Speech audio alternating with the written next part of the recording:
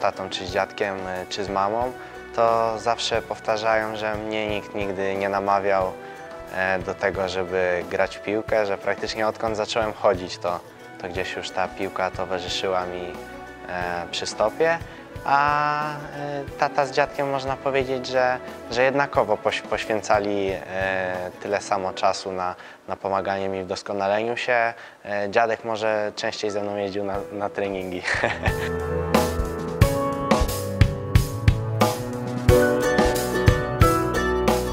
Pamiętam, jak właśnie byłem młodszy i dziadek miał wąsa, to często, często mówiłem, żeby, żeby go zgolił, bo, bo nie lubię jak nim wygląda i, i, i w końcu przyszedł moment, że mnie posłuchał i już nie zapuszczał.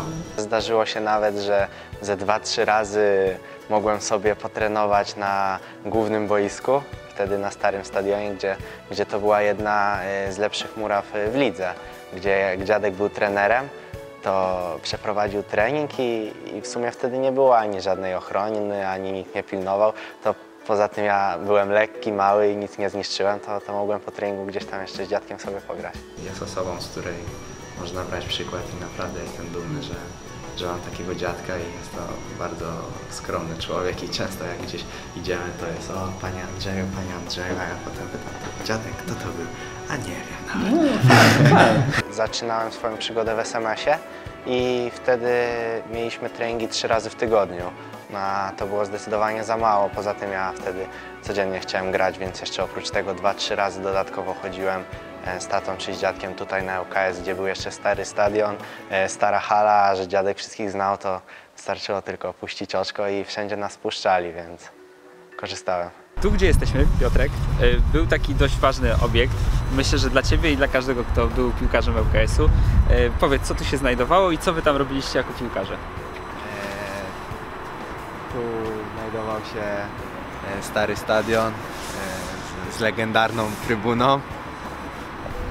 Tam było e, sta, stare sztuczne boisko. Wcześniej jeszcze tutaj był ośrodek.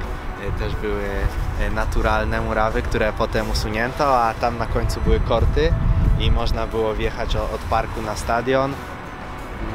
O, obok tutaj trybuny był magazyn, w którym jeszcze też pan Sławek urzędował, a ze, ze starym, starym stadionem no to mam same, same dobre wspomnienia, bo tam poszedłem e, na swój pierwszy mecz, tam też e, na hali e, odbyłem e, wiele treningów, na, na starej sztuce też sporo trenowałem. Mój ojciec był moim trenerem, jak przychodziłem do ŁKS-u, to miałem 14 lat.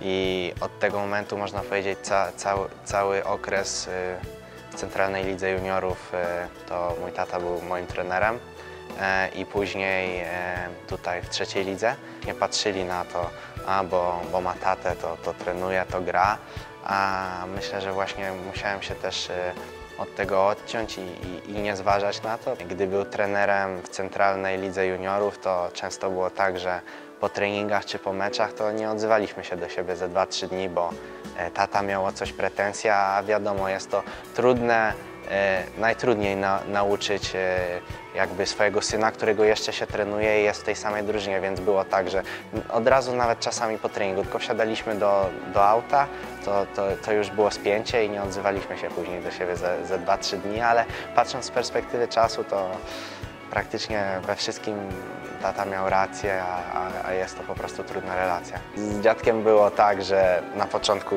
jakaś tam rozgrzewka, podanka, a potem mówię, dobra, to strzelamy, a dziadek, okej, tylko, tylko nie na siłę.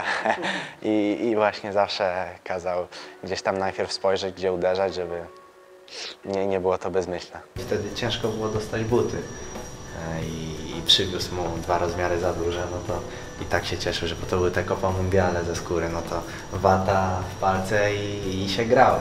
My te wcześniejsze awanse to po prostu robiliśmy to, co do nas należy. Z trzeciej, z trzeciej ligi akurat no wiadomo jak to wyglądało, ale był to nasz obowiązek. Z drugiej ligi tak samo był to nasz obowiązek.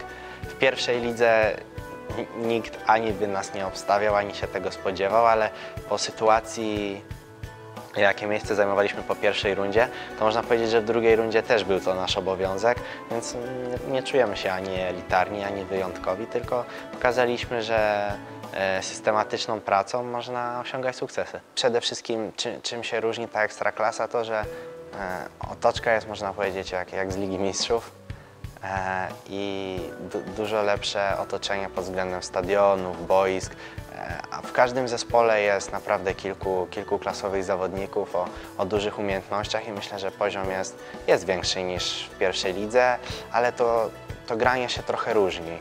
E, czy, czy gra mi się łatwiej? Na razie idzie, idzie nie najgorzej. Jestem dumny, że, że właśnie e, mój tata czy dziadek, e, może tata mniej, ale dziadek sporo osiągnęli i, jest wszędzie szanowany i, i ja po prostu byłem z tego dumny i, i też e, chcę, żeby to nazwisko coś znaczyło e, dzięki mojej pracy i, i temu, co ja zrobiłem.